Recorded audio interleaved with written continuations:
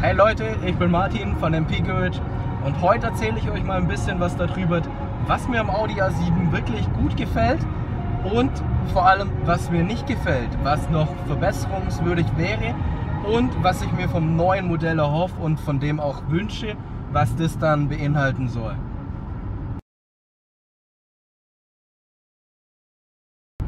Fangen wir doch einfach mal mit Punkt 1 an. Ich muss mein Handy mit Kabel laden.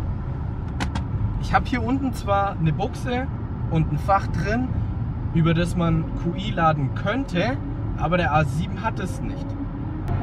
Daraufhin habe ich die Jungs bei Audi gefragt, hey, könnt ihr mir hier unten nicht ein induktives Ladegerät verbauen oder so? Und dann meinten die so, ja, nee, bei Audi geht es nicht.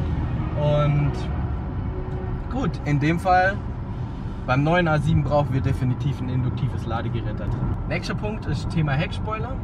Der Heckspoiler fährt zwar bei 120, 130 automatisch aus, aber wir haben ja hier den Knopf, dass er manuell noch ausfährt. Aber das Ding ist, ich muss den dann manuell auch wieder reinfahren.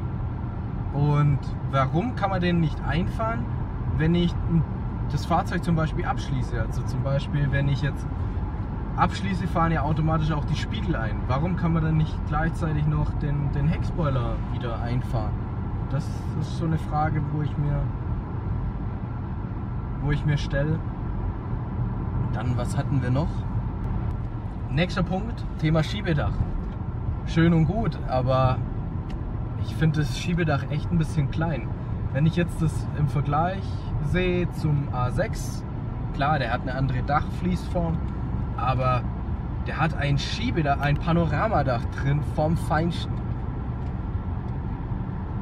Ähm, was noch? Bitte in 400 Metern links abbiegen.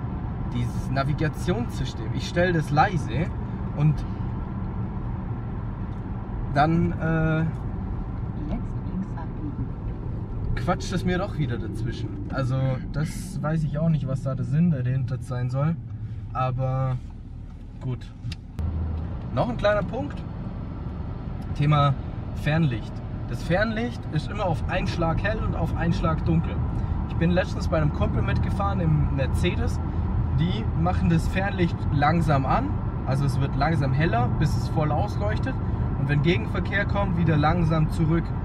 Und das finde ich fürs Auge viel angenehmer, weil das nicht so schlagartig hell wird und nicht so schlagartig wieder dunkel wird. Denkt ihr euch bestimmt, hey, der Martin sitzt in einem Auto 100.000 Euro wert und der ist nur am Meckern. Stimmt nicht. Also bisher stimmt es schon, aber ich finde das Auto einfach so super geil.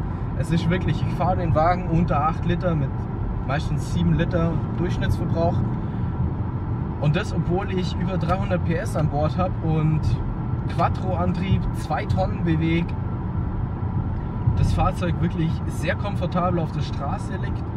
Ich bin gerade heute Morgen wieder in Opel Corsa gefahren, wirklich, das war des Grauens. Da war ich froh, als ich wieder mit dem, mit dem A7 fahren konnte. Das ACC funktioniert super. Gut, der Spurhalteassistent ist nur ein Assistent, der wäre noch verbesserungswürdig meiner Meinung nach. Funktioniert aber auf der Autobahn wirklich super. Also auch hier der Unterschied zwischen weißen und gelben Linien erkennt er meiner Meinung nach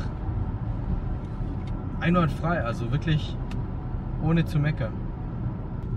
So Leute, ich hoffe das Video hat euch gefallen und wenn ja, lasst einen Daumen oben da. Hier könnt ihr noch abonnieren und hier geht es zu meinem neuen Video. Danke euch. Ciao.